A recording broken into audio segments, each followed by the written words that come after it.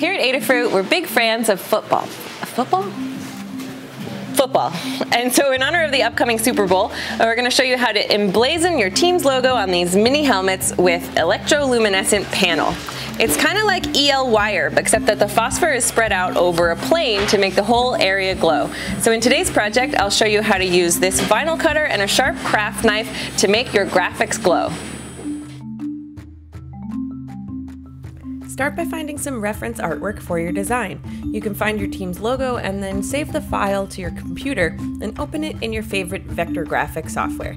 I'm using Illustrator, but there's also Inkscape, which is free and open source. One of the most powerful tools in your vector suite is the Bezier line tool, which looks like a pen on the icon.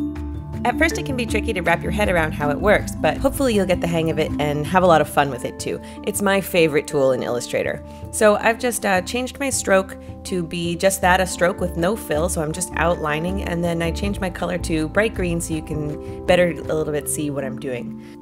So to start, just click, drag, click, drag to identify your anchor points and tangent lines. And when you get to an area where there's an angle or a corner, you click, drag your first tangent line, and then press the option button to free the second tangent line from being perfectly parallel to the first. Uh, one of my favorite things about this tool is that you can kind of rough in the shape by creating as many anchor points as you think you'll need and then go back later and adjust those anchor points to get a perfect fit. Begin by outlining the shapes that you'd like to light up in your design. Uh, for me, it's the beak of this bird and the letter B.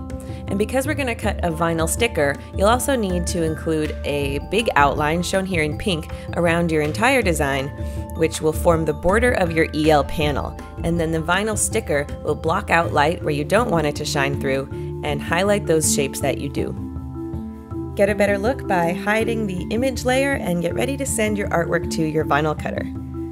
To figure out what size to make it, you should measure the logo on your helmet with calipers. Uh, look at your art to figure out the boundary size of its lines and then match that up with the appropriate shapes on the helmet, um, but it's still going to require a little bit of trial and error. I'm using a plugin for Illustrator that'll work with my Silhouette machine, which I'll link to in the description below this video.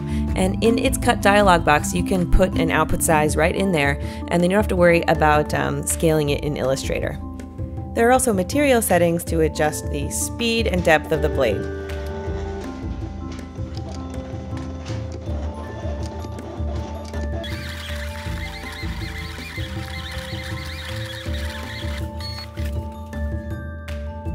Peel the sticker off the backing with a pair of tweezers. Uh, depending on how delicate your sticker ends up being, you can go back to your artwork and thicken some of your borders if you want to make the sticker easier to apply. You want to test out the sizing by peeling out a big shape and placing it directly on the helmet. If it lines up perfectly, great, you're done. But most likely it'll be slightly wrong size, either maybe stretched a little bit in one direction because the helmet's curved and you need to accommodate for that, uh, or just plain old too small or too big. So uh, go back to your dimensions and keep experimenting and cutting a new sticker until you're happy with the way it sits on the helmet. And then you'll make the final one, which you can put on your EL panel.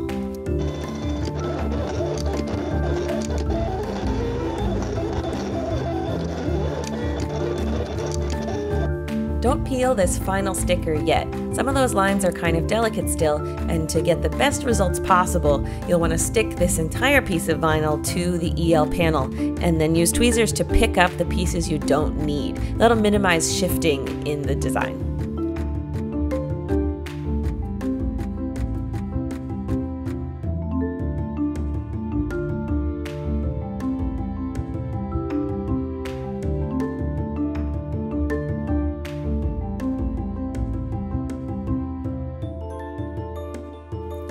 To finish up, cut carefully around your design with a very sharp craft knife and a pair of scissors.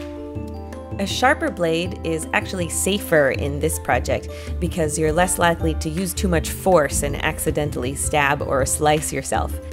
While we're on a safety kick, let's talk about plugging it into the inverter. You can see that uh, my design needs a little bit of touch up after I light it up. Well, just remember to turn it off again before you apply that metal blade. EL panel, although low amperage, uses high volts and it will sting you uh, with a little bit of a shock if you're not careful. Route the wires and use double stick tape to apply the design to the helmet. If you want to put this somewhere where it might touch your skin, just stick the thing in the laminator or use some packing tape to insulate that electrified edge. Make a pair of dueling Super Bowl helmets, repeat with the other team's logo, and uh, you can plug everything into one inverter. Now, since this EL panel is a lot smaller than uh, it originally was, it uses less power. So both of these logos are running off of one 4 AAA battery EL inverter uh, available in the Adafruit store.